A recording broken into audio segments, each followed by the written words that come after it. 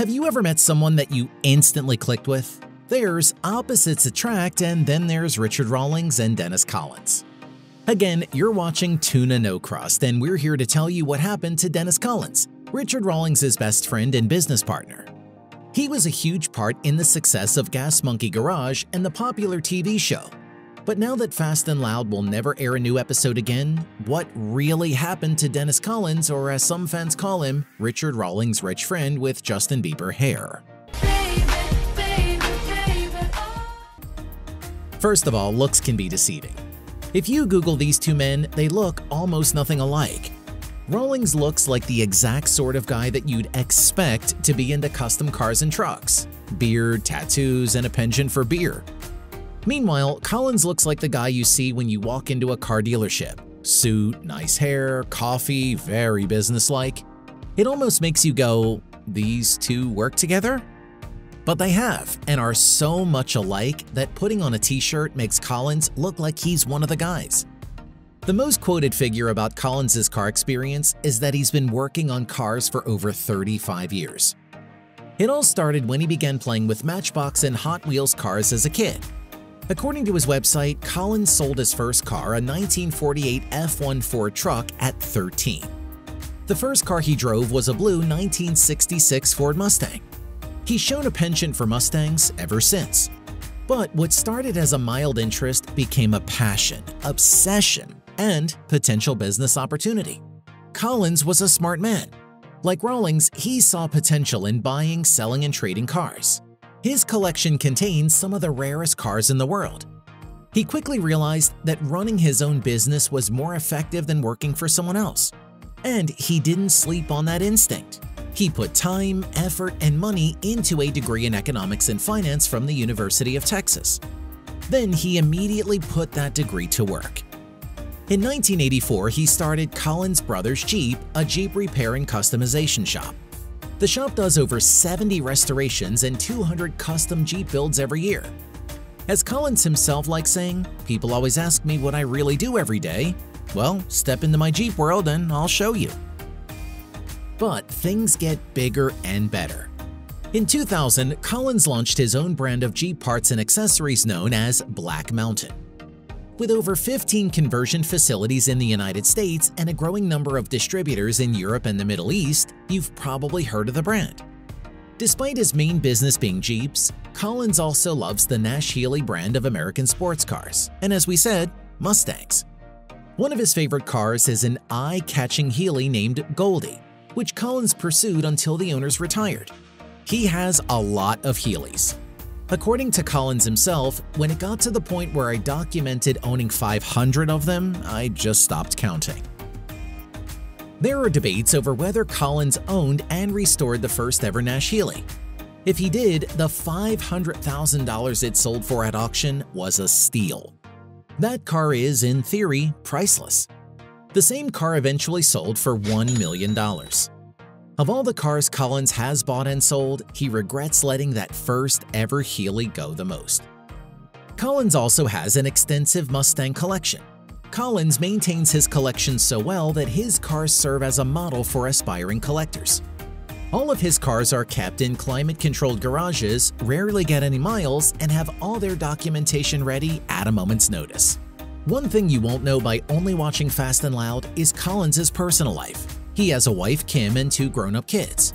He still lives in Wylie, Texas, which is roughly a half hour north of Dallas. And if you doubted that his degree was worth it, Dennis Collins is now worth over $30 million. So how did Rawlings and Collins meet? In 1996, Collins and Rawlings both received invitations to a bike rally in Daytona, Florida. Only 11 people showed up and Rawlings and Collins were among them. The two became fast friends, collaborating on everything from a cannonball run to Rawlings' Discovery Channel shows Fast and Loud and Garage Rehab. We've done videos on Fast and Loud and Garage Rehab before, but if you missed them, here's a short summary. Fast and Loud was a show that aired on Discovery Channel from 2012 to 2020. It focused on restoring and customizing old cars that would otherwise be sent to the scrapyard. The spin-off show Garage Rehab aired from 2017 to 2019 and is exactly what it says on the label. Rawlings and friends travel around the US helping failing auto garages get back on their feet. Both of these shows ran on Discovery Channel with no announcement of future seasons. If you want more information, please check their respective videos out. But if you want to see Collins in action, he's in significantly more episodes of Fast and Loud. And it can be a little hard to tell exactly what Collins does on Richard's shows. IMDb is not helpful on this front, showing the relatively few episodes Colin has been on and mostly listing Collins as playing himself. When he's on the screen, he's usually wearing his Collins Brothers Jeep shirt, but more often than not, he's helping Rawlings determine the value of his cars, especially Healey's. Probably 75 grand. You are. Get back in your car and leave. Let me shut this down. How about 80 grand? There's no way, man. All right, here's my last offer. I'm not making another one. 99.1. I'm not paying you 100. 99.1, you own it. Deal. But Collins was still prominent enough on Fast and Loud that he got his share of fan mail. During an online segment in which Collins answered the questions on Facebook and Twitter, he said that he got a lot of questions about his hair, which has no gel and was not styled after Justin Bieber. I actually don't use any hair products. And no, I didn't steal it from Justin Bieber. He stole it from me. He also listed some of his favorite cars, talked about his wife, and discussed many other offbeat questions in this 2014 YouTube video. It's a fun watch that's approximately five and a half minutes. You'll laugh at some of the questions Collins got. Does your wife wear shirts to say Dennis's wife? I've actually never thought about that. She doesn't, but she's going to in the future. That is outstanding. Both Fast and Loud and Garage Rehab are off the air as stated in another video. Rawlings isn't keen on doing another TV show. What happened to Collins? Are he and Rawlings still friends? Or did they have an argument like many members of Gas Monkey did while on the air? The answer may surprise you. Not only are these two still friends after 20 years, but they collaborate a lot. Both Gas Monkey Garage, Richard Rawlings, and Dennis Collins have moved from Discovery Channel to YouTube. Collins' show Coffee Walk has the Jeep Man looking at rare finds from around the country, often in the middle of nowhere. The two still work together on a YouTube show called Beer Walk, which usually involves Rawlings and Collins looking at their latest finds.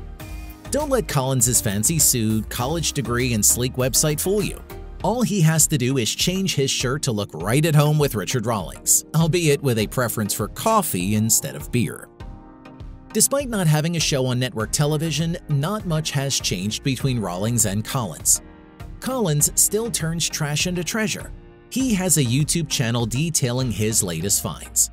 He also has a website with links to his book, bio, brand, and events. And if you have a classic car, you can sell it to Collins by filling out an online form. Who knows, you might get internet famous. Speaking of you, the viewer, what are your best friends like? How did you meet? Do you have any special stories about your friendships that you're willing to share? Would you be willing to do a TV show with your best friends? Would you ever want to own 500 of something that you love? Let us know in the comments below and don't forget to like, subscribe, and ring that bell to make sure that the next video doesn't pass you by. We'll see you next time. Remember, please like, tag, share, follow, and subscribe to what? Our YouTube channel. See you next week.